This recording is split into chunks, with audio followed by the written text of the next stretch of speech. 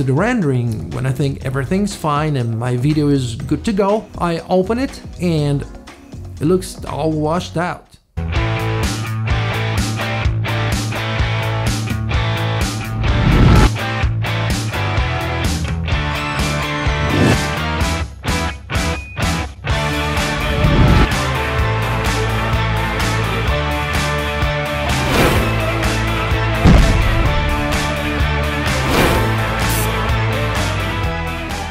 So I, am just gonna finish this photo shoot and then I'm gonna go home to my studio and we talk. It's gonna be a very useful video, this one. If you use an Apple computer and DaVinci Resolve to edit your videos, this is gonna be a game changer. But I, I gotta hey, run now, I think. I don't have all day. Come on, they're wasting my time. Uh, my client is a little bit complicated. I better get going. See you one second.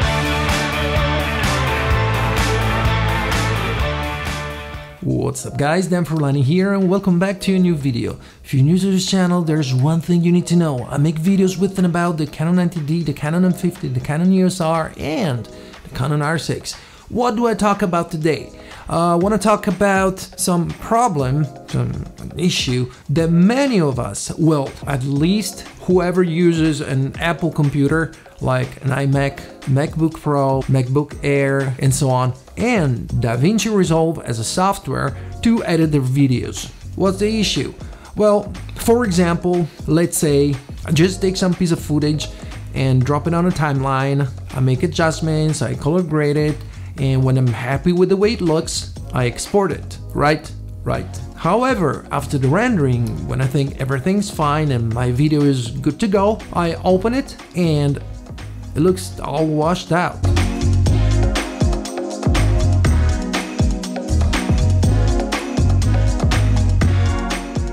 So what happened? Apparently it lost saturation and contrast and light. I don't know, it just looks different. The thing is, when you work on your software and Resolve in this case, and you're color grading your footage, you want it to look in a particular way. Like you stop color grading it only when you're completely happy with it, right?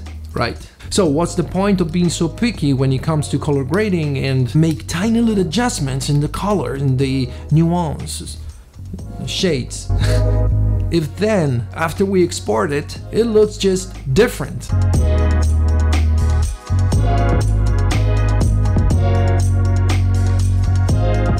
So what's the solution? According to many videos I saw, an immediate solution would be to just compensate. What does it mean? If you know that your video that looks perfect in Resolve, after you export it, it looks washed out. It loses saturation and contrast and highlights and so they suggest you should compensate for that. So when you're happy with your color grading, with what you think should be your final product, you would actually have to add uh, some extra saturation, darken the shadows, fix the highlights. That doesn't work for me. I don't want to do that every video I make. It'd be frustrating, it would be because it would be really difficult for for the final video to look like the one that I'm really happy with when I see it in Resolve. So what's the solution? Pretty easy actually. All you have to do is when you open DaVinci Resolve, you go to Preferences, you click General, and you select, you check, Use Mac Display Color Profiles for viewers. You click Save, you restart Resolve,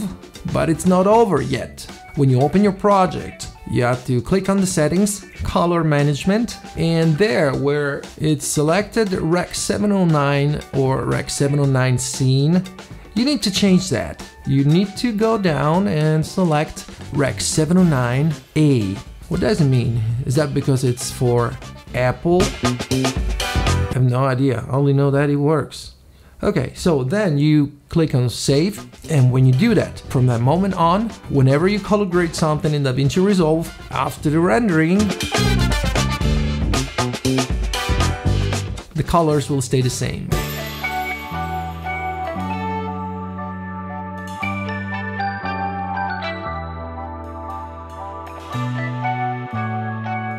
It was easy, no? Alright, that's all I had to say for today, and I really hope you enjoyed this video. If you did, smash the like button and subscribe if you ain't already, and I'll see you guys in the next video.